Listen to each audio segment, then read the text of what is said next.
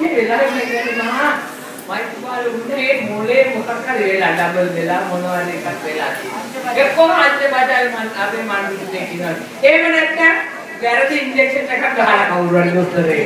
මොකක් හරි දොස්තර මහත්තයෙක් කරලා දිනවා හිටපන්දෝ කියන්න හිටගෙන කියලා ගහලා දිනවා කකුලටවත් ඉන්ජෙක්ෂන් එකක්. ගාන නිසා නායක මැතිතුමා ගැන මේ මෛත්‍රීපාල සිරිසේන කියන කතා කියන්නේ.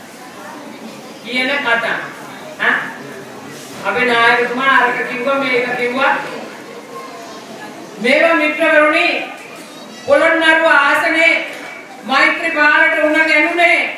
එදා අපේ කින්ස් නේසන් මැතිතුමා ගෙදර තිබ්බේ අපිට දිස්ත්‍රික් සාකච්ඡාවක් කියලා. නායකතුමා කිව්වේ පළවෙනි වටේ දිස්ත්‍රික් සාකච්ඡාව කියලා. මේ දිස්ත්‍රික් සාකච්ඡාව මහා පතාක විශාල රැස්වීමක් හැටියට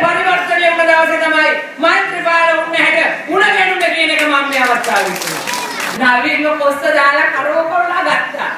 අරගෙන ස්ටේජ් එක ගෙනන බැලුව ගහන්න පුළුවන්ද කියලා තියෙනවා. ගේම ගහන්න බෑ වෛද්‍යකාර සිරිසේනට.